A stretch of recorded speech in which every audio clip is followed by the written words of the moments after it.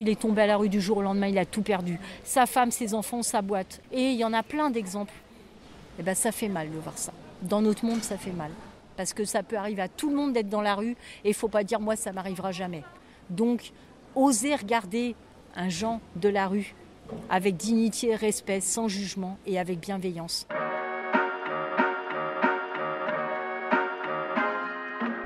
Nantes inspirante.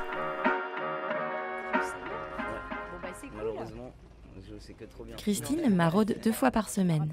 Sac à dos rempli, caouet et chaussures de marche, cette habituée de l'association À l'écoute de la rue arpente le centre-ville du quartier d'Albi à la médiathèque Jacques Demy, accompagnée de Jean et Jordan. Café, non Oui, café. Ah, petit café Ah. Tu prends du sucre avec ton café Oui, T'en veux combien euh, deux minimum. Chaque jour de l'année, les bénévoles de l'association vont à la rencontre des gens de la rue pour partager un brin de causette, un café, un petit gâteau et un suivi attentif de la situation de chaque personne.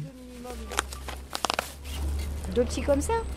Ça te va ou tu veux en que je rajoute Ouais, je pense que tu peux en rajouter deux. Allez hop Tiens, la petite Merci. touillette qui va bien avec. T'en as une, ouais. Oh bah j'ai tout ce qu'il faut, Voilà, c'est bien. ce qu'il faut, Christine. Elle est toujours Oh bien bah équipée. Christine, elle est outillée. Elle est toujours bien équipée. C'est ça. Bah oui, mais en même temps, vous avez besoin de plein de choses et on est là pour ça. Tiens, Super.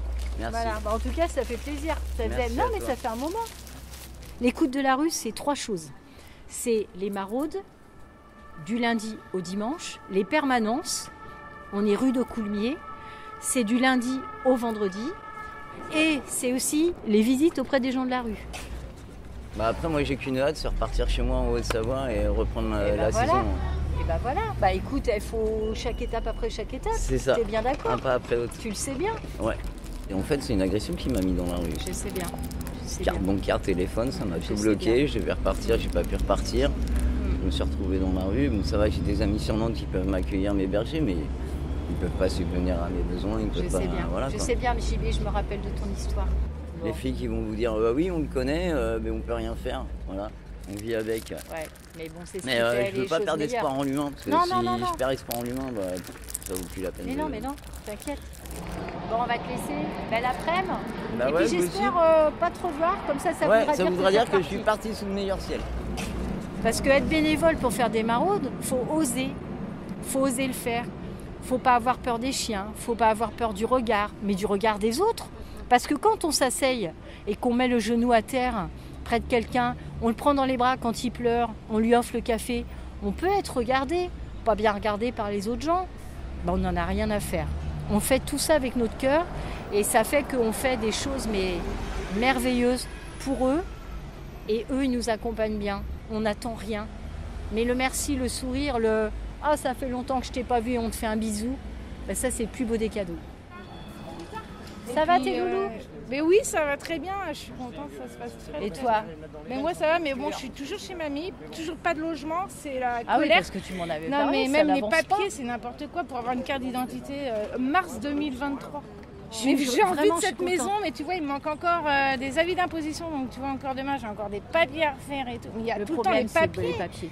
Mais tu te rends compte pour avoir un logement, tout ce qu'il faut et tout ce que c'est le bordel à faire et tout. Me- bien. alors pour mon acte de naissance à Cholet, il fallait ma carte d'identité. Je fais bah non, il me faut mon acte de naissance pour la carte d'identité. Comment on Bah fait oui. alors? Et moi si j'avais rien, on m'avait tout volé, on m'a tout pris, je peux pas. J'ai mes déclarations de perte maintenant, bon bah voilà, mais bon. Et Johnny, t'as un petit problème Johnny, Johnny, il habite les bites. Ah merde Ouais. Ah mince. Ça va, il, ça va Ça mieux va déjà. Ah bah Ça t'aurais vu sa jambe, c'était le double. Mais Ah bah maintenant- c'était le double. Ah bah maintenant avec son traitement c'est nickel. Ah J'ai bah, ça toujours fait- ton bracelet hein. Hein J'ai toujours ton bracelet. Bah j'espère bien Bah les cadeaux oui. de Noël, Ah bah, que ça je- serve à quelque chose je ma l'ai mère. gardé et je pense toujours à toi. Ça, bonne mais- mine. Ça fait Bah, plaisir ah, de te J'ai voir pris comme du ça. poids. On s'en oh fout du poids, mais arrête. Ah, Depuis que je suis partie de la rue. Eh, mais pris- elle- Alors, Attends, attends, j'ai pris 6 kilos, je crois. Oh bah c'est rien, 6 kilos dans une vie. Euh, Eh, oui, 3 oui, kilos à gauche, 3 kilos à Ouais. droite. Va-t'en, va-t'en, va-t'en. Quand j'aurai une maison, euh, je t'appellerai. Ouais, pas de problème. Envoie-moi, je serais tellement contente de l'avoir. cet Mais oui, appartement. mais oui. Une relation de gens de la rue, ça se tricote. C'est-à-dire, c'est d'abord un regard, une main tendue, un petit café, une petite discute, des semaines et des semaines et des mois, et un jour, tu as un déclic.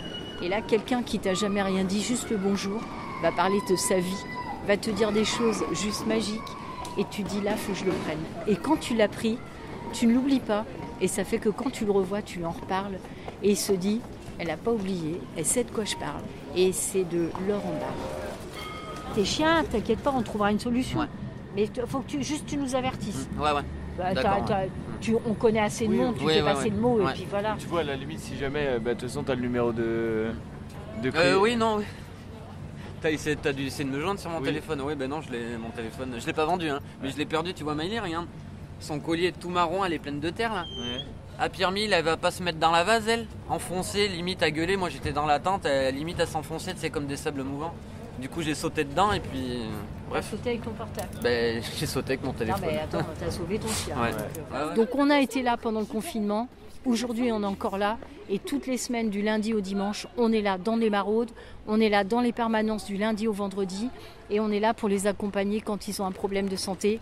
Le CHU nous connaissent, les nouvelles cliniques nantaises nous connaissent et on les accompagne et ils le savent. Et on est là aussi pour leurs chiens, justement, les gamelles pleines.